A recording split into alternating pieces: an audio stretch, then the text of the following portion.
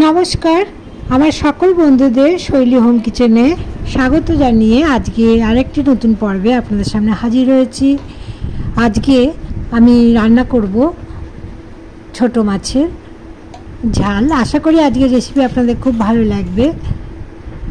কড়াই গরম করে নিয়েছি। এখন এর মধ্যে সর্ষের তেল দিয়েছি, তিন টেবিল চামচ।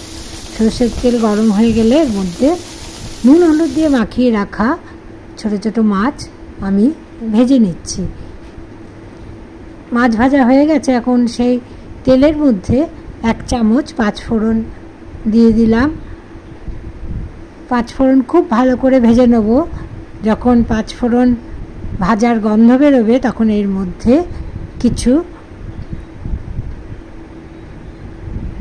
টুকরো করে কেটে রাখা টমেটো দিয়ে দিলাম। টমেটো একটু নাড়াচাড়া করে নিলাম। এখন এর মধ্যে পেঁয়াজ, রসুন, আদা, লঙ্কা এবং টমেটো বাটা তিন চামচ দিয়ে দিলাম।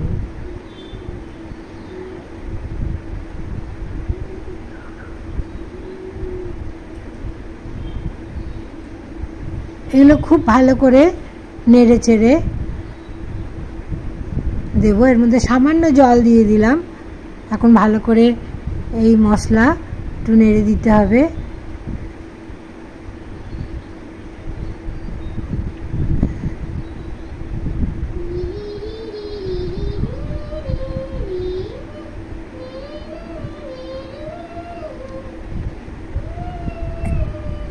ভালো করে নেড়ে এর মধ্যে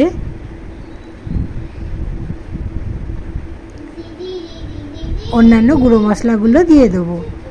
এইভাবে পাঁচ মিনিট রান্না করে কষিয়ে নিতে হবে যাতে পেঁয়াজ, রসুনের কাঁচা গন্ধ না থাকে। এখন এর মধ্যে হাফ চামচ জিরে গুঁড়ো দিলাম, হাফ চামচ কাশ্মীরি লঙ্কার গুঁড়ো দিলাম। পরিমাণ মতো হলুদ গুঁড়ো ও লবণ স্বাদ মতো দিয়ে দেব।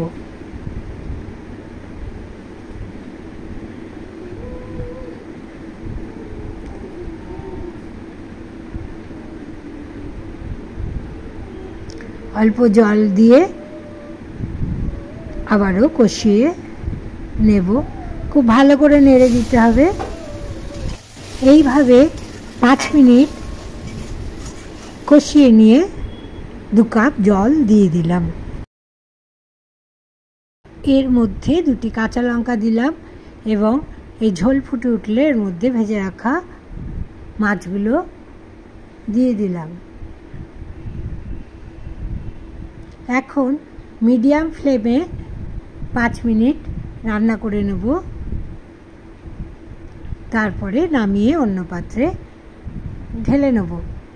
আশা করি আজকের রেসিপি আপনাদের ভালো লেগেছে। যদি ভালো লাগে লাইক শেয়ার কমেন্ট করবেন এবং শৈলী হোম কিচেন চ্যানেলটি বেল আইকন সমেত সাবস্ক্রাইব করবেন।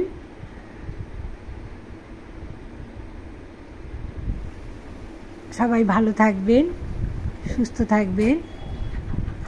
সবাইকে অনেক অনেক ধন্যবাদ জানিয়ে শেষ করছি।